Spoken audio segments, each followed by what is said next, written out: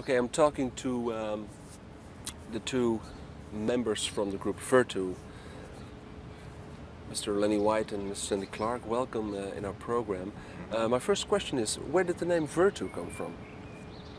Actually, Lenny thought of the name. Uh, we, you know, we we initially tried to come up with a word that, uh, or some phrase or word that sort of described what we were trying to do. We were trying to, uh, you know, have a word that had the, the uh, virtuosity in there because the music that we're that we were attempting to do, and that I feel that we did do eventually on record, was uh, some music that had virtuosity in it, a little bit different than some of the stuff that we were doing before. Music a little more complex and uh, difficult to play. So Lenny called me one night and came up with this word uh, that you found. Where'd you find this word? Actually, actually what happened is in our meeting um, with the record company, um, we were talking about um, having virtuosity in the music. So I, I said, man, we should just call the band Virtue. And uh, Michael Kaplan said, yeah, that's great, that's great. So I did a search on it, but I found out there was another band already that had the, to actually, did we almost get sued?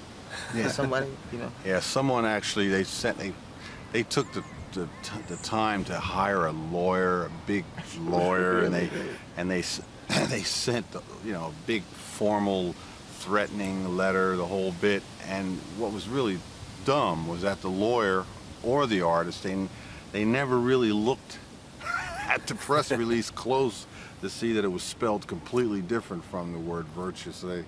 Ah, they probably wasted about five thousand dollars there. Yes, because the, because that very fact I went and I went to a thesaurus and I looked up the word virtue to try to find out different ways of spelling it or some words that were synonymous with that.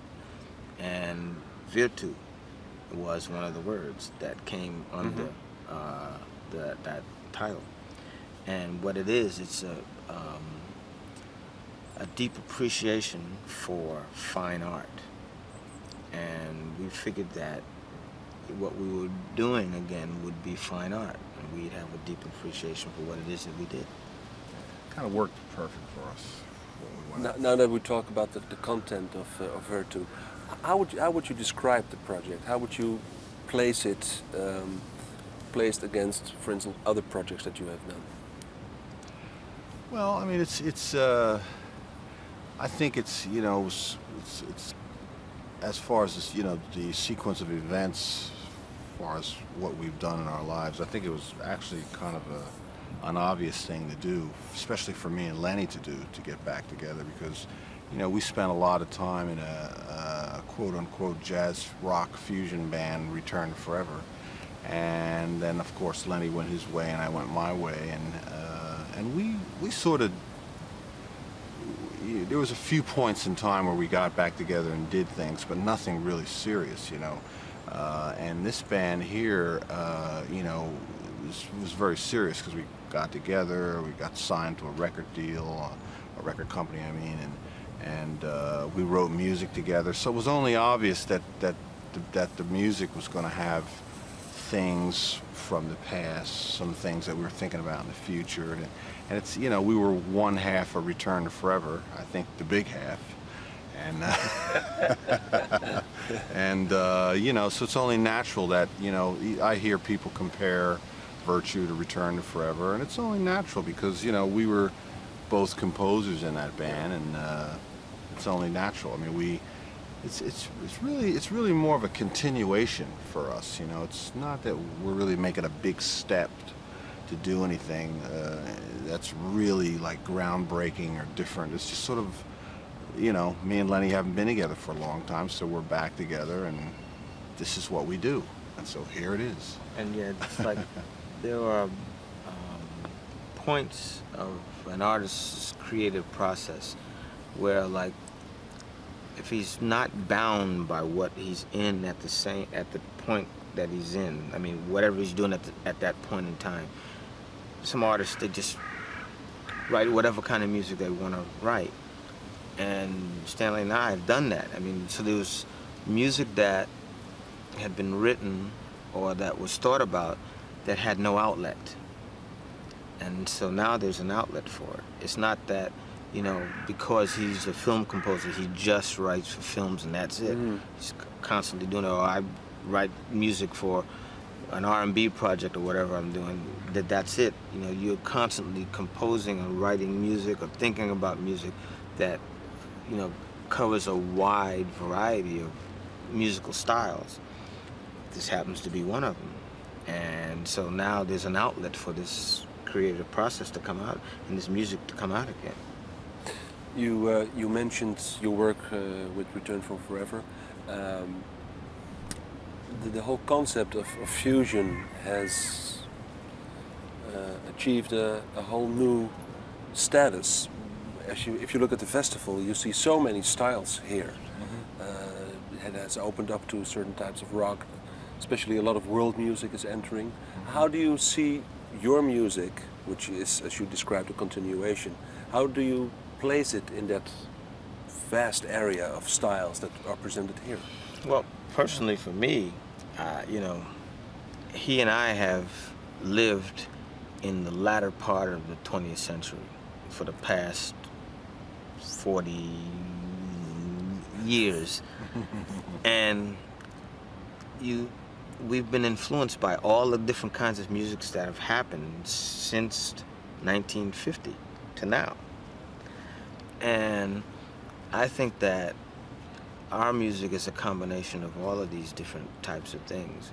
What's unique about it is that in our band we have three generations of musicians and the instrumentation is a little bit different. Um, it's not different than what was the norm back in the so-called quote-unquote fusion movement. But, you know, we have someone who's 29 years old and played with Poison. We have someone who is 30 something years old and played with Yanni. And you have us.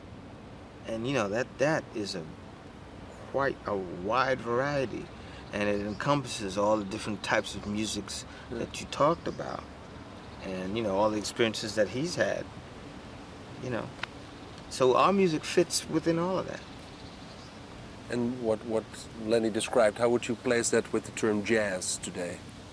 Well, you know, if, if you if you if you really get serious about the term jazz, you, you'd probably would have to come up. you- You'd have to. You finally get to a point where you'd say that it's a really it's an undefined word. You know, there's no finite like jazz is. I mean, the, the only common thing I think, uh, you know, the one thing that you could say that's similar, that strings through all the music that come under the heading of jazz is that it's music that's where there's improvisation. People play solos over changes or not over changes or something, and and I mean that's really the only thing. I mean when you when you go back, I mean it's so funny in in uh, America today. You know they have these jazz stations called smooth jazz radio, I mean they'll play like. Uh, you know, Hall and Oates, smooth jazz, or go, and then followed by you know Luther Vandross or something, Yeah. and then maybe they'll play a Lenny White, you know. So, you know, jazz today is uh, I, I don't know. I think in America, like the jazz is like something that's, I think they it's even a little broader than improvisational music. I think it's something that's like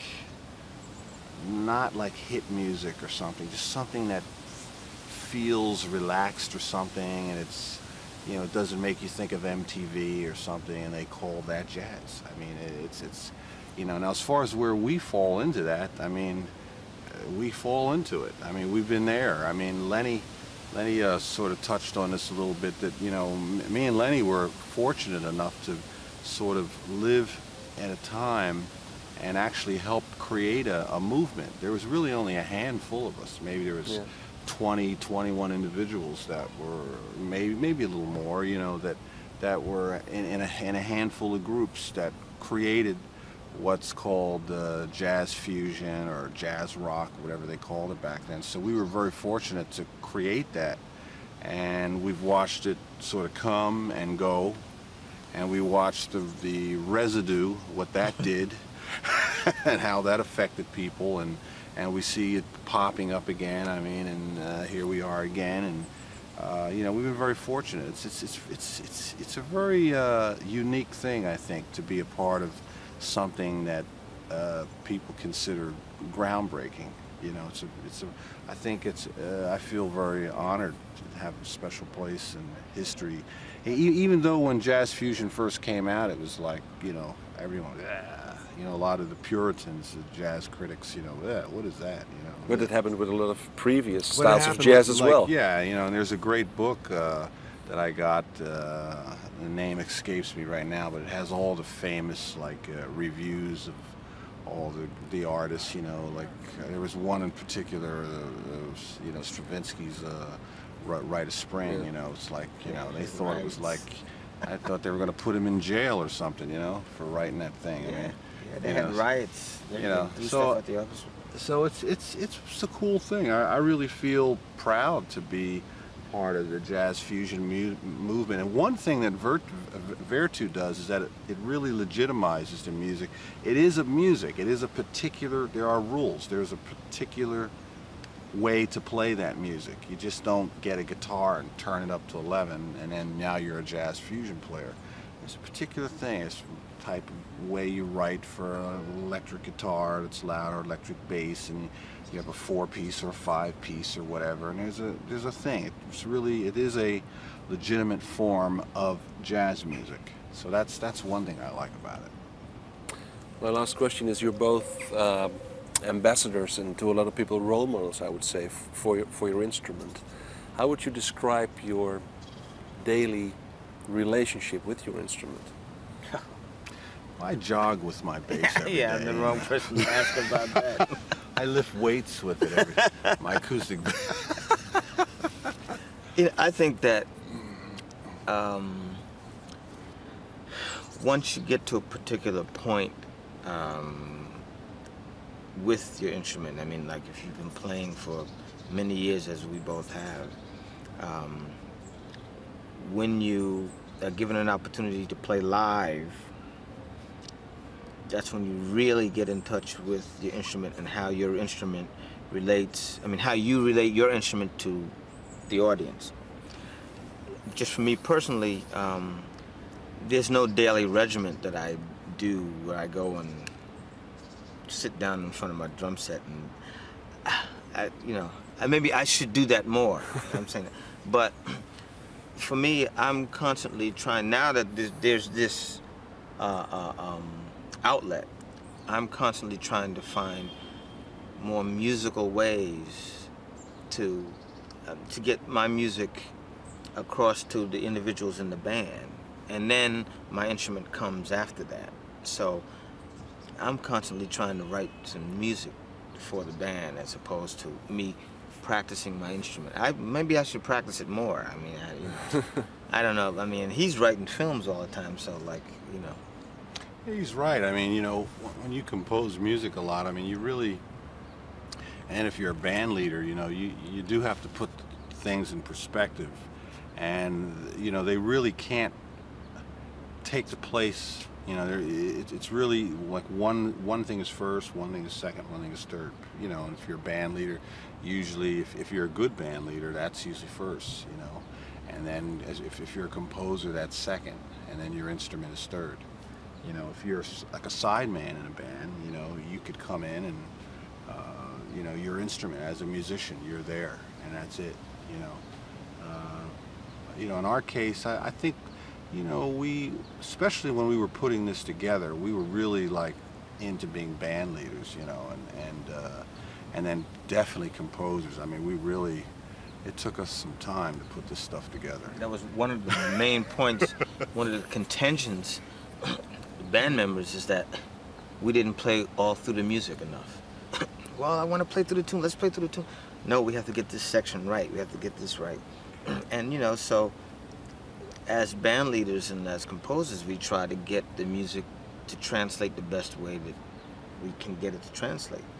We have to get it from our heads to the other people in the band, and then from them, get it out to the, to you know everybody else. So it's a process, and in that process, it is kind of tedious. you know, um, and the instrument is probably the last thing that we're trying to, you know, get across. I mean, but you know, the thing is, we've been playing for such a long time.